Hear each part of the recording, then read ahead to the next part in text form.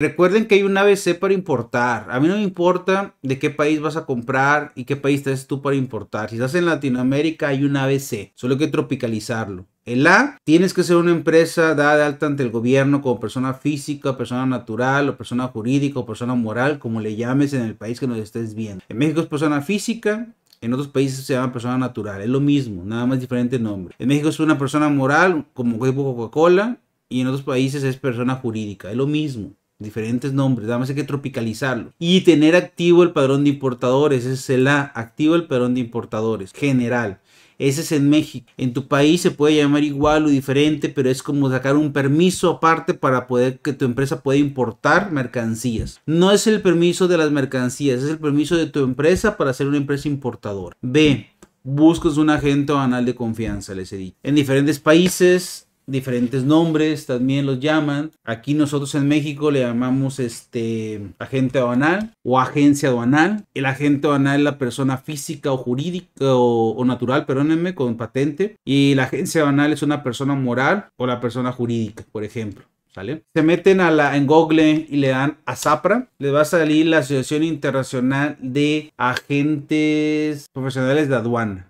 ¿Sale? Y ahí en la ZAPRA, si te vas en asociadas, en asociadas buscas tu país y ahí, por ejemplo, en El Salvador, un saludo para El Salvador. En El Salvador, te digo, es tropicalizarlo. También existe la figura del agente banal de confianza. Si es vía aérea por paquetería, te despacha el agente banal de la paquetería, pero existe el agente banal. Si es vía marítima, ya no hay paqueterías, es el agente banal directo. No me quiero abrir, no me quiero abrir el, este, no me quiso abrir el de El Salvador, no me vamos a la de Colombia. Y en Colombia se llama agentes logísticos de comercio internacional, por ejemplo. A lo que nosotros llamamos agentes aduanales, en Colombia le llaman agentes logísticos de comercio internacional. Nada más es tropicalizarlo a tu país, pero necesitas en Colombia un agente logístico en comercio internacional para que te ayude con tus importaciones. En Chile, según yo, se llaman, también tienen diferente nombre, menos que me equivoque ahorita. FDI es agentes de aduana, le llaman. Es muy similar. Yo le llamo agente aduanal y él le llama agentes de aduana. Entonces casi muy similar.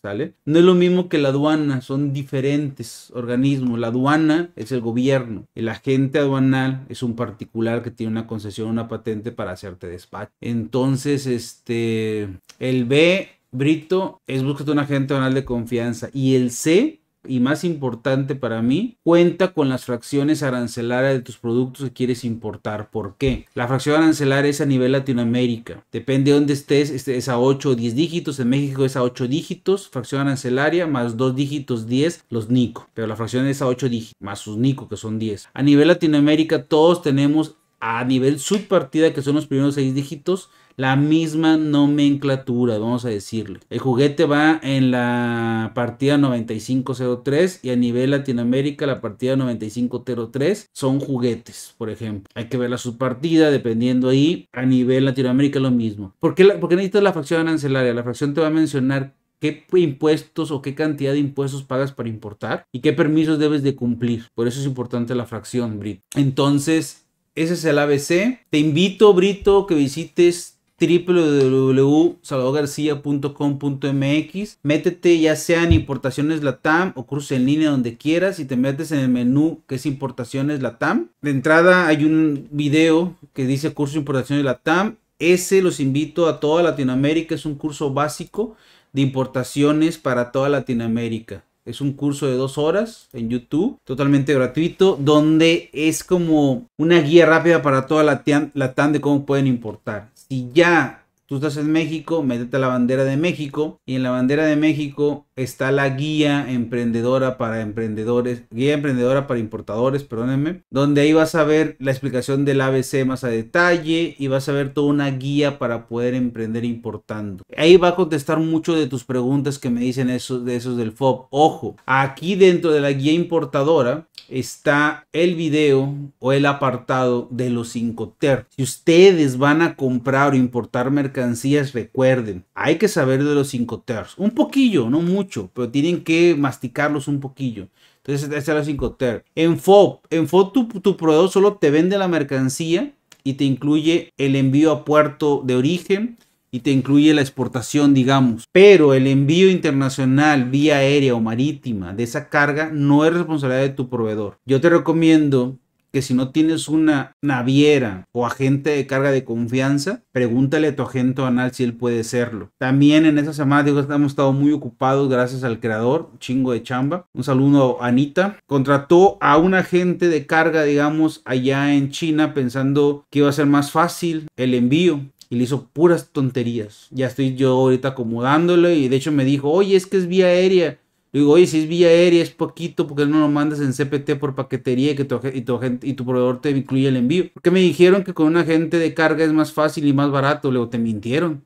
Que ella quería que yo le vendiera el flete aéreo. Le digo, pero es una carga aérea, pequeña, sí. No, dile a tu proveedor que te venda vía aérea por paquetería y que te mande por FedEx. Yo porque te voy a vender el flete aéreo porque es ganar, ganarme unos dólares más y me la voy a complicar y te la voy a encarecer. Yo le gano donde sé que soy competitivo y no tienes muchas opciones, pero ahí la opción es CPT. Entonces ya si es vía marítima, eh, en FOB y no tienes un transportista de confianza, que tu agente banal, como nosotros, nosotros en nuestro caso, que seamos, seamos tu agente banal, yo te puedo decir, compra en FOB, y yo te puedo hacer el envío. Pero como soy tu agente banal, yo me encargo de la importación, de, todo. Pero si un agente transportista de carga no es agente aduanal. Él no se encarga, él no se encarga de, las aduanas, ni de los aranceles, ni demás. ¿eh? Son cosas diferentes. El transportista, como tú lo dices, transporta mercancía. Para ver todo ese tema de aduanas, aranceles y demás, es con un agente aduanal de confianza. Entonces ahí te me perdiste. Ve la guía emprendedora y vas a saber por qué. Y estoy estudiando, y eso me topé con el tema del programa de importadores, ¿sale? Entonces, el transportista no se encarga de aduana, no se encarga de aranceles, no se encarga de lo demás. Si es transportista, no. ¿Puedes un forward en un logístico? Sí. ¿Te puede vender ese servicio? Sí. ¿Recomiendas que lo hagas? No. Váyanse con agentes banales directos. También aquí en la guía emprendedora de México, viene donde buscar en México un agente banal de confianza. Hay un video de cuánto tiempo será el pinche video. Emprendedores, en este video les vamos a enseñar no son tal mute. Este, hay un video donde les digo que en México hay dos cámaras o dos confederaciones, la Karen y la CLA. Son las cámaras de agentes aduanales donde puedes agarrar a un agente aduanal de confianza. Ni siquiera les digo que me contraten a mí. Ahí hay agentes aduanales de confianza. Me topo con muchas personas que luego me dicen, es que mi agente banal, no creo que tu agente banal sea agente banal, es un logístico, un forwarder, pero no es agente banal. Y muchas veces no son agentes banales, ¿sale?